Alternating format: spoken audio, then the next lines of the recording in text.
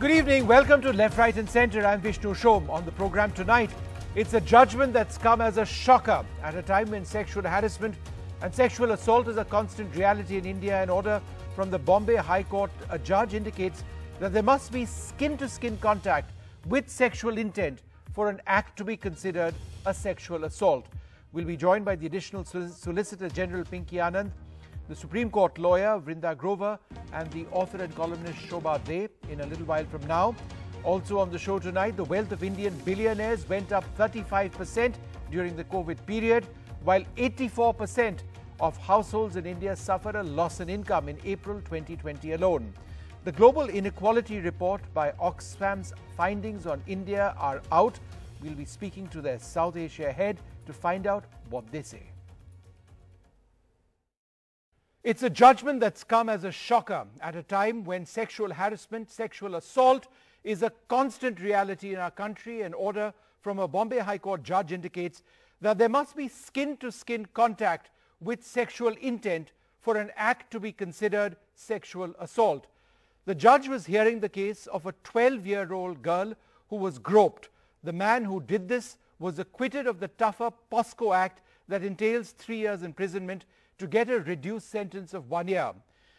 Justice Pushpa Ganediwala ruled, and this to many is the shocker, the act of pressing of breast of the child aged 12 years in the absence of any specific detail as to whether the top was removed or whether he inserted his hand inside the top and pressed her breast would not fall in the definition of sexual assault. Now the National Commission for Women in just the last little while has tweeted saying that they will be challenging this order. Well, joining us now to look at this, uh, the additional Solicitor General Pinky Anand. We are also joined by the senior advocate of uh, the Supreme Court, Vrinda Grover. Shobha De, the author and columnist, joins us as well. Um, Ms. Anand, let me come to you first. One of the, one of the most bizarre uh, sort of parts of this judgment is, is this, and I quote, admittedly, it is not the case of the prosecution that the appellant removed her top and pressed her breast. As such, there is no direct physical contact, i.e. skin-to-skin contact with sexual intent without penetration. Isn't this bizarre that there needs to be skin-to-skin contact for sexual assault to have been proven? Uh, Vishnu, actually, I, I think there are so many words that can be used for this, but bizarre is as appropriate as any to say uh, this is a situation where we've been grappling, you know, for sexual assault being made to be an offense which actually is prohibitive rather than something which allowed things to happen. Even when Section 354, prior to the amendment, the whole attempt was to make it wide-ranging so that there was no ambiguity left whatsoever. In these circumstances, considering the POCSO Act and considering that it is meant for this, the protection of children, and this uh, girl was 12 years of age, the whole idea of physical contact, meaning that there must be removal of clothes, is something which is preposterous. I, I mean, nothing short of that is something which would appeal to anybody. Uh, and I think we are all amazed at the fact that there could be such a judgment. Firstly, you have acquittal at the first stage. Then you have a reversal of the High Court, uh, the Nagpur bench.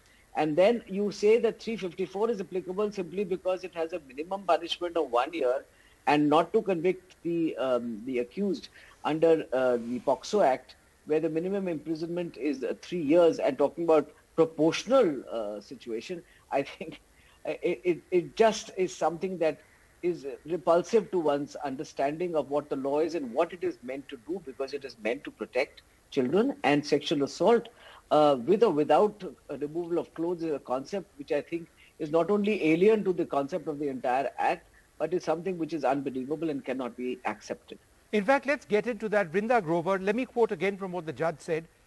The question for consideration of this court is whether the pressing of breast and attempt to remove salwar would fall within the definition of sexual assault as defined under Section 7 and punishable under Section 8 of the POCSO Act. Isn't this perhaps the most regressive part of this, of this judgment, this particular statement? You know, I really think let's look at Section 7. Mm-hmm. And Section 8 uh, gives awards punishment for the crime of sexual assault under POCSO. So let's read what Section 7 says so that we understand what is happening. Because I have today looked at judgments from Kerala High Court, Sikkim High Court, Bombay High Court, Delhi High Court, all of which have convicted not only where breast has been touched through clothes, but also when hand, etc., have been forcibly taken or uh, there is a possible kiss which has been planted. So clearly this judgment of the Bombay High Court is at odds with the manner in which POCSO has been, uh, this section has been interpreted and convictions have been awarded. What does section 7 say?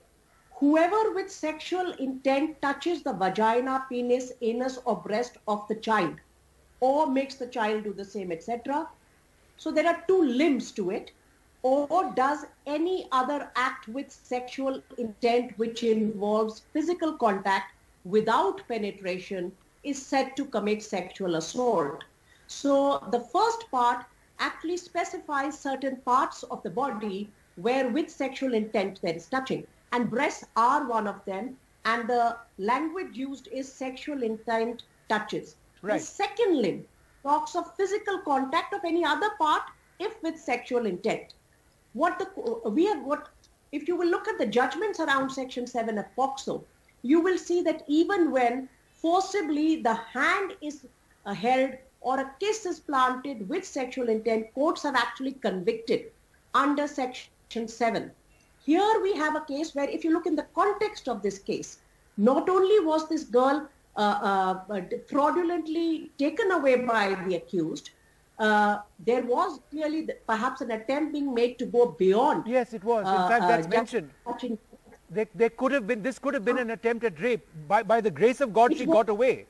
But there is Yes. mention it of this was as the well. neighbor who intervened. I just want to bring in one more point here. I do, however, want us to, to cons- because she is clearly what is weighing on the mind of the judge is the mandatory minimum sentence. And therefore she's leaning and the interpretation of law with all due respect is not what section 7, how section 7 can be read. Right. But this is a, a, an interpretation that has been carved out because the court is clearly uncomfortable giving the mandatory minimum sentence Right. of three years and therefore finds the path through section 354, therefore confirming that she believes in the credibility of all the witnesses. Uh, so th- what we need to therefore do here is just, at this I'm only putting as an issue out there. I know when we are outraged, we don't want to think. Mandatory minimum sentencing without discretion may in the long run start proving counterproductive when the mandatory minimum has a higher threshold. So perhaps we need to discuss that as a separate issue. This is what you uh, see here. However, what we do need to say, even when courts are reasoning like this, we, I see no semblance of an acknowledgement of the trauma of the child. Surely the, the experience and the trauma that child sexual abuse will leave on a child is not going to necessarily vary if it is through a t-shirt or without a t-shirt. And we don't see that sensitivity in the language and the reasoning that is deployed by the court. No, absolutely. And, and, and Vrinda, I think that is perhaps one of the most important parts of POCSO, that it was designed with the child in mind. The child wouldn't be treated as a victim. The child would be taken through the process. Where in this judgment, which I've read very carefully, was there any effort at trying to show empathy to the child? It seemed to be entirely missing. But Shobha, let me come to you, come to you next. There is, some would say, a false equivalence which is being sought to be made over here. Uh, and that false equivalence has to do with sexual assault and something and any other act. Vrinda was talking about this and the judge says, and I quote, the words any other act encompasses within itself the nature of acts which are similar to the acts which have been specifically mentioned in the definition on the premise of a principle. The act should be of the same nature or closer to that. So any other act needs to be sexual assault in, in the judgment is what this judge feels. Otherwise it's just not. It's something else. Isn't that strange? There are many strange aspects uh, to this case and uh, let's uh, start by saying that the most vulnerable section of our society is the girl child. Now in this judgment as has been pointed out there was no empathy, there was no reference to the girl's trauma and apart from anything else sexual intent itself is uh, so ambiguous. Who decides what the intent is or was in this girl's case? Clearly, she had been lured, according to reports, by a guava. Yes. Lured. Lured not just because he wanted to grope her breasts over her t-shirt, but perhaps as has been mentioned, uh, he would have gone much further. There could have been a possibility of rape had a neighbor not intervened. Apart from that, the girl herself was traumatized enough to cry, to report what had happened and to take it all the way through and her mother registered this FIR. Now, a child is so vulnerable and the way this has been worded is crude to say the least. A woman's body, a child, a female child's body has been deconstructed in a manner so blatant and so ugly. Now, we're going to start talking about under the t-shirt, over the t-shirt, uh, breasts, buttocks, legs, lips, hands, feet. Where does it uh, uh, stop? You know, it, one would rather go with a much stricter look at uh, what had taken place, a much stricter verdict than err on the side of, the, of leniency. Now, this seems to me you're letting uh, you're sending out a very strong message to other people out there. And child pornography, as we all know, I mean, the incidents have gone up in a way that is absolutely terrifying. Children are vulnerable. And this judgment is, it's, I, I consider it almost perverse in the way it's uh, been projected, is telling people out there that it's okay, it's not exactly sexual assault, but it is something slightly less because there's no penetration and the girl has not been touched, her vagina has not been touched and so on. I mean really, this is so terrible for anybody who has raised little girls to hear these kind of comments coming from a lady judge is distressing to say the least. So what happens next is going to be very interesting to monitor since almost every women's organization and women across the country have raised their voices against this judgment. There is an appeal at the Supreme Court level. We'll wait and see how this pans out because protecting our girls, protecting our vulnerable, protecting children, boys and girls should be a priority for society, not to offer protection to a molester or a groper. Uh, Pinky Anand, here's something else the judge said. The act of pressing the breast of a child aged 12 years in the absence of any specific detail as to whether the top was removed or whether he inserted his hand inside her top and pressed her breast would not fall under the definition of sexual assault. It would certainly fall within the definition of section 354 of the IPC which penalizes outraging the modesty of a woman. This is the basis of the judgment. Uh, uh, Vishnu, it's actually something that, you know, again, I go back to history. 354, when it was enacted, was found to be hopelessly inadequate to beat sexual assault. And it came to a very minimal and nominal statement of saying outraging the modesty of a woman. Yes. In fact, that is the whole reason this entire section was amended to, as I said, include within its ambit all kinds of sexual advances and assaults which actually uh, came in the category of assault and not outraging the modesty of a woman. So having said this, I'm sorry, what emerges from this judgment is also uh, this possibly, if I may say, antiquated notion of the fact that when there is no penetration, there is no sexual assault.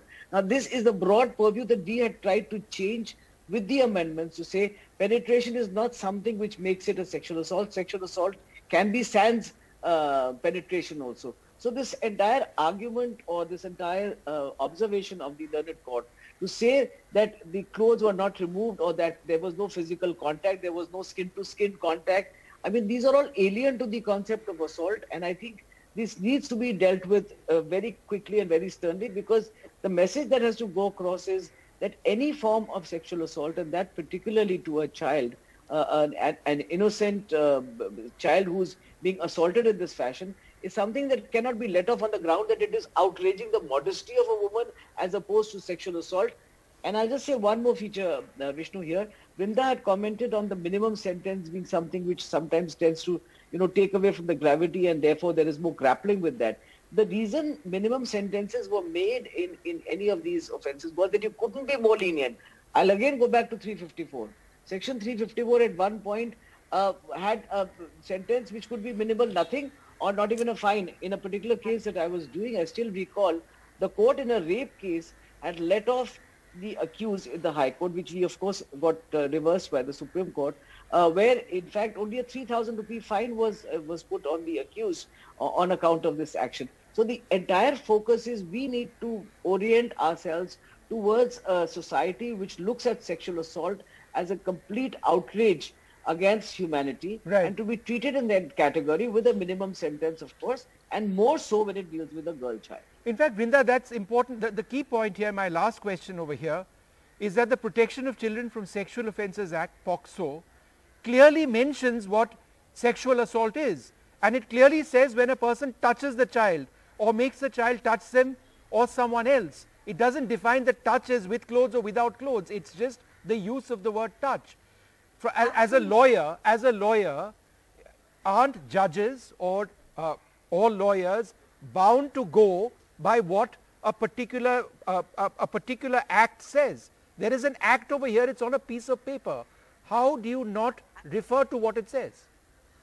Absolutely, you're right. And that is why this particular judgment uh, reinterprets uh, Section 7 to uh, create this business about uh, the touch means that the touch has to be from skin to skin, which is nowhere either the intent or the content of Section 7, nor, as I said, there are judgments of various high courts across the country which have repeatedly convicted under Section 7 for where there is no necessarily, uh, the, the, the touch doesn't have to be to the flesh. This is a completely, uh, uh, you know, distorted reading of Section 7. I want to make one more point here. Please remember this is a, a gender neutral law for children. So in this case, the court has gone into 354, outraging modesty of a woman slash girl. What if this is a boy? Uh, little boys need to be protected True. against sexual offenses and sexual assault and sexual abuse. What would the judge have done then? Yep. Uh, if it was touching the penis through a trouser, then does that boy child have no protection left under our laws? So we need to really think what is, how do we read POCSO Act? All right, I'd like to thank you all very much for, uh, for joining us and I think it's wonderful that the National Commission for Women, which has come out with a detailed tweet on why they find this to be uh, regressive, uh, something that's potentially dangerous, um, they're going to challenge this and it just needs to be seen at what level and how they are going to do this. I'd like to thank you all very much for being with us. Well, let's uh, quickly move on now to our next big focus uh, this evening. Well, the Oxfam report is usually presented at the uh, World Economic Forum meet uh, in Davos. This year it's been COVID and it's not been presented there, but the findings are stark. The Global Inequality Report, usually uh, which is released in Davos, Switzerland, speaks among other things on the impact of COVID on India. It refers to it as the inequality virus.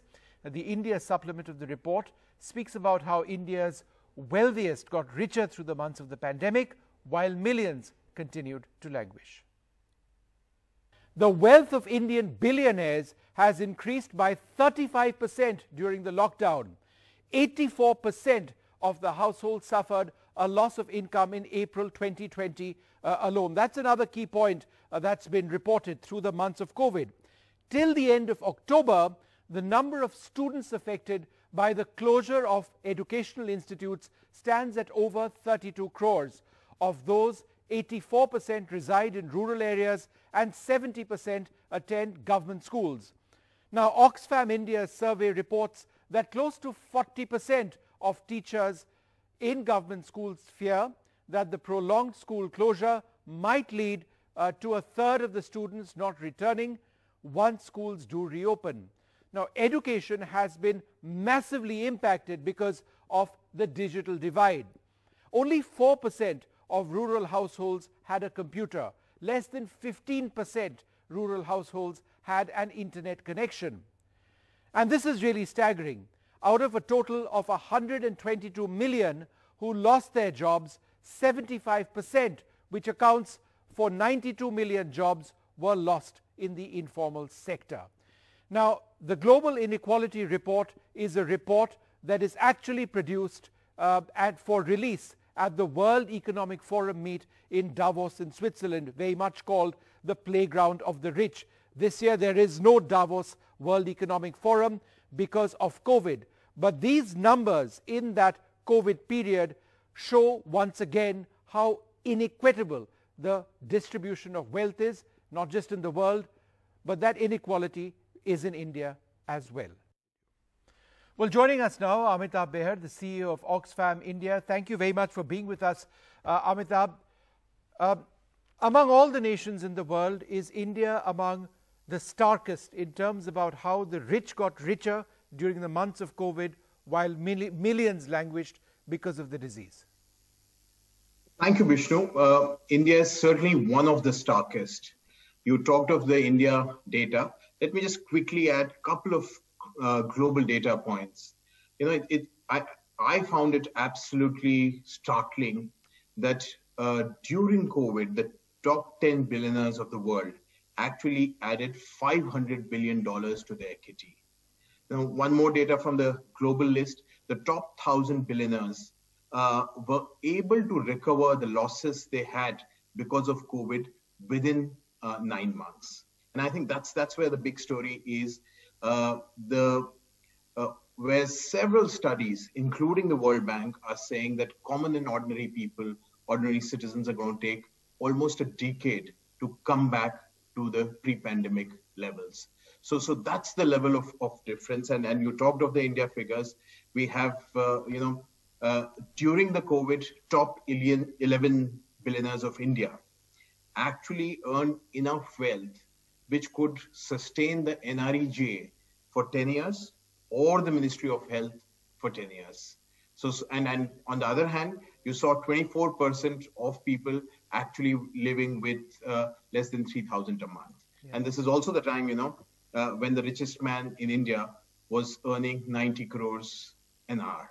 So it, it's it's really devastating, and I must say, it busts the myth where people were saying that you know uh, the the virus does not differentiate. Maybe the virus does not, but the systems that we have created, it's very clear that the impact is very very different on different segments of the people. Amitabh, uh, what I also found um, um, striking in a in, in, you know in a sad way was education and the inequality over there. We keep talking about online education as a way of dealing with um, COVID for children. But uh, the digital divide in this country is so stark that there are signs now that a lot of those kids, because of being absent from school for so long, may, not, may just not come back. Absolutely. So uh, uh, you mentioned the survey Oxfam did, and uh, we spoke to lots of teachers, and, and their assessment is that we're going to lose a lot of children uh, to the pandemic, they'll not be coming back to school. Malala Fund has done a study which says that almost 20 million girls, so there is again a gender dimension to it, 20 million girls will not return to uh, uh, schools. And then if you really look at even the digital divide in terms of what's happening to the education scenario, you talked of, of uh, extremely low access to computers and internet in, in uh, rural areas, which, which stands around, say, 20% put together. But if you really go to the bottom 20% of the people, mm-hmm. Uh, the access is even worse. It comes to around 9 to 10% uh, put together access to computers and uh, internet. So there is a huge digital divide. And, and surprisingly, we have been looking at a lot of other questions, but there's not been enough attention on the question of, of education and what's going to be uh, what are going to be the new challenges uh, when when children start returning to schools. So one final question. You mentioned this. I just wanted to get that once again from you. How many years is it going to take for people to who've been badly affected to uh, economically recover from the impact of COVID? So it's going to be, as in the World Bank study says, a decade uh, to come back to pre-pandemic uh, level. Uh, whereas, as I was saying, that the billionaires have already recovered, and many of them have actually had windfall profits. Right. So, so that's that's that's the level that, of that, uh, that's the inequality that right there. Thank you yeah. so much, Amitabh, for sharing this with us. And I think it's a sign of the times that uh, we aren't in Davos at the World Economic Forum. Exactly a year back, we were talking about the report last year. This year, yeah. the world's playground of the rich has effectively evaporated because uh, so, the, the disease shows uh, no inequality. Everybody is affected by it. So, so, Vishnu, if I can get just one line, as in, uh, we're going to be looking at the budget. Let's fundamentally reboot the budget in a way where we don't look at, you know, reducing the number of billionaires should be all right. We need many more nurses and teachers. That's that's that's the shift that we need to make. Amita Behar, always a pleasure speaking to you. Thank you very much for being with us. Out of time on left, right, and center. Uh, it's time for a short break. Sanket Upadhyay comes up next.